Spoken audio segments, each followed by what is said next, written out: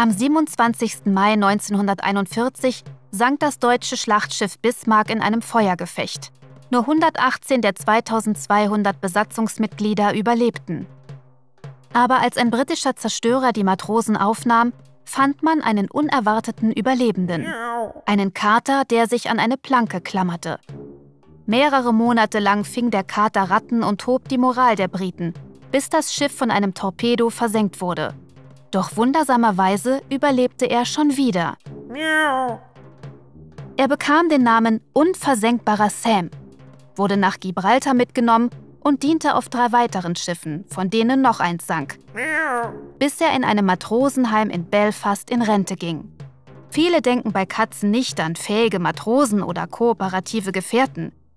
Aber Katzen arbeiten schon seit tausenden Jahren an der Seite des Menschen und helfen uns genauso oft wie wir ihnen. Wie haben sich diese Einzelgänger also vom wilden Raubtier zum Marineoffizier und Sofakumpel entwickelt? Die Domestizierung der modernen Hauskatze begann zu Anfang der Jungsteinzeit vor mehr als 10.000 Jahren im fruchtbaren Halbmond. Die Menschen zähmten die Natur und produzierten viel mehr Nahrung, als sie auf einmal essen konnten. Die neolithischen Bauern lagerten überschüssiges Getreide in großen Gruben und Tonkrügen.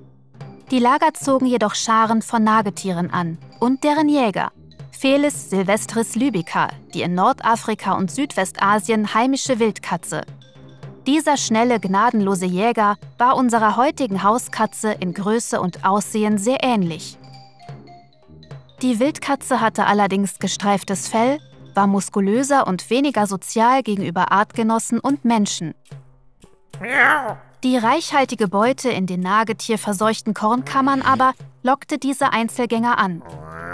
So wie sich die Wildkatzen dadurch an Menschen und andere Katzen gewöhnten, tolerierten die Bauern wohl auch die Katzen aufgrund der kostenlosen Schädlingsbekämpfung. Diese Beziehung war so vorteilhaft, dass die Katzen mit den Steinzeitbauern von Anatolien nach Europa und in den Mittelmeerraum auswanderten. Nager waren eine Plage der Seefahrt. Sie fraßen Vorräte und knabberten Taue an.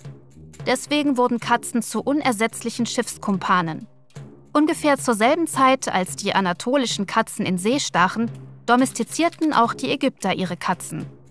Man verehrte sie, weil sie Giftschlangen erlegten, Vögel fingen und Ratten töteten, und so wurden Katzen zu einem Bestandteil der ägyptischen Religion.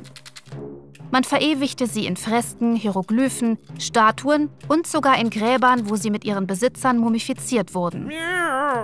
Ägyptische Schiffskatzen hielten auf Nilschiffen Giftschlangen in Schach. Später stiegen sie auf größere Schiffe um und segelten von Hafen zu Hafen. Im Römischen Reich beförderten Schiffe zwischen Indien und Ägypten die Nachfahren der zentralasiatischen Wildkatze FS ornata. Jahrhunderte später, im Mittelalter, fuhren ägyptische Katzen auf Schiffen der Wikinger bis in die Ostsee. Sowohl nahöstliche als auch nordafrikanische Wildkatzen damals vermutlich bereits zahm, reisten weiter quer durch Europa und gelangten schließlich nach Australien und Amerika. Heute stammen die meisten Hauskatzen von der nahöstlichen oder ägyptischen Linie der FS Lybica ab. Genaue Analysen der Genome und Fellmuster moderner Katzen verraten jedoch, im Gegensatz zu Hunden, die über Jahrhunderte selektiv gezüchtet wurden, sind moderne Katzen ihren Vorfahren sehr ähnlich. Wir haben sie zwar sozialer und fügsamer gemacht, aber ihr natürliches Verhalten hat sich kaum verändert. Katzen von heute sind ungefähr das, was sie immer waren. Wildtiere, gnadenlose Jäger, Geschöpfe, die uns nicht als ihre Halter ansehen. Und unsere lange gemeinsame Geschichte gibt ihnen wohl auch recht. Entdecke noch mehr von der Katzenwelt in diesem Video über die coolste Katze der Quantenmechanik. Und wenn du ständig dazulernen willst, abonniere unbedingt unseren Kanal.